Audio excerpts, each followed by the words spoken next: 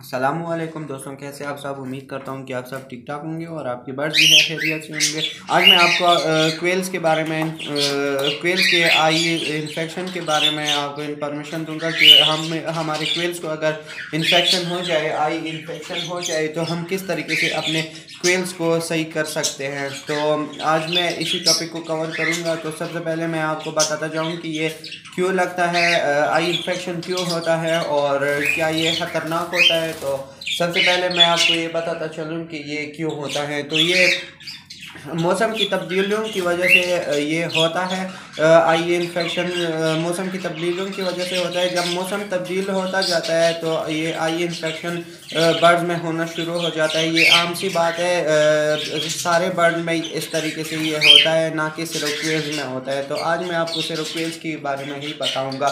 तो जैसे सर्दियाँ जाती हैं और गर्मियाँ स्टार्ट होती हैं तो एक इस जगह पर इनको ये आँखों की बीमारी लगती है इन्फेक्शन होती है और जब गर्मियाँ ख़त्म हो रही हो और सर्दियाँ आ रही हो तो एक इस जगह पर भी इनको इसी बीमारी से गुजरना पड़ता है। तो आज मेरे इन क्वेल्स में से तीन क्वेल्स को आई इन्फेक्शन हो चुका है। आज इनकी मैं ट्रीटमेंट करूँगा। ये आपको मैंने ये तो बता दिया कि ये क्यों होता है। ये यही मौसम की तब्दीलियों की वजह से होता है। और ये क्या ख़तरनाक होता है? तो जी हाँ ये बिल्कुल ख़तरनाक होता है। क्योंकि अगर आप इनके बर वक्त इलाज ना कर सके तो इनको इनकी आँखें जो हैं वो सूज जाएँगे मोटी मोटी से हो जाएँगी, और गोश्त जो होगा वो भी इनकी आँखों पर आ जाएगा। तो जिसकी वजह से ये दोबारा से किसी चीज़ को भी देख नहीं पाएँगे और दाना पानी ना करने की वजह से इनकी डेथ भी हो सकती है। तो इस वजह से आपने आप जब भी इनको देख लें तो बर वक्त आपने इनका इलाज शुरू करना चाहिए। तो अभी मैं इनका इलाज करने वाला हूँ। सबसे पहले मैं आपको तरीका बता देता हूँ कि किस तरीके से आपने करना है। और वीडियो को पूरा देखें ताकि आपको स्टेप बाय स्टेप समझ आ सके स्किप स्किप किए बगैर, क्योंकि अगर आप स्किप करेंगे तो आप इम्पोर्टेंट पार्ट को मिस कर सकते हैं। तो इस वजह से पूरा देखें वीडियो को। ये देखें दोस्तों कि मेरे स्क्वेल की आँखें किस तरीके से सूझ गई हैं। ये दूसरी आँख भी बिल्कुल ही ख़राब है।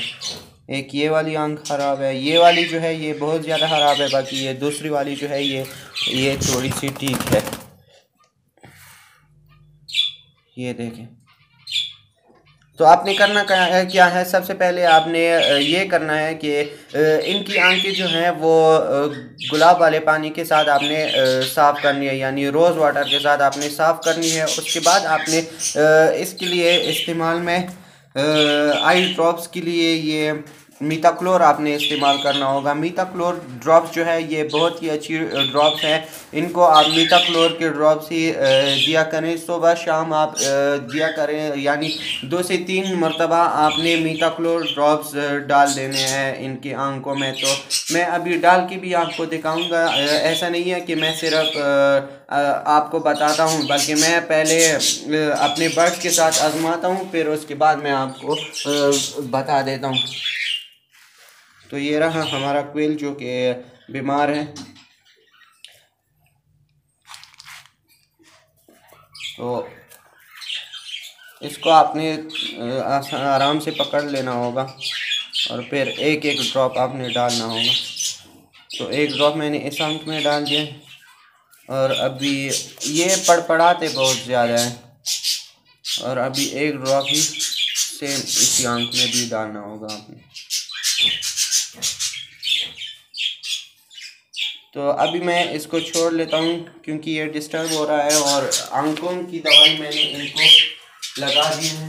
ये देखें तो सारे क्वेल्स को मैंने आँखों की ड्रॉप्स डाल दिए हैं तो कुछ इस तरीके से ही आपने कर लेना है। सबसे पहले आपने इसको रोज़ वाटर से इनकी आँखें साफ़ कर देंगे यानी धोने हैं इनकी आँख। उसके बाद आपने ये इन सेम मीताक्लोर ड्रॉप्स आपने इनकी आँखों में डाल देने हैं। तो ये थी दोस्तों आज की वीडियो। अगर वीडियो अच्छी लगी हो तो वीडियो को लाइक करें, ज़्यादा से ज़्यादा शेयर करें और मेरे चैनल जबरान फैंसी बस को सब्सक्राइब करके बेल आइकन दबाना ना भूलें, ताकि मैं जब भी कोई न्यू वीडियो अपलोड करूँ तो उस वीडियो की नोटिफिकेशन आप दोस्तों को मिले सबसे पहले।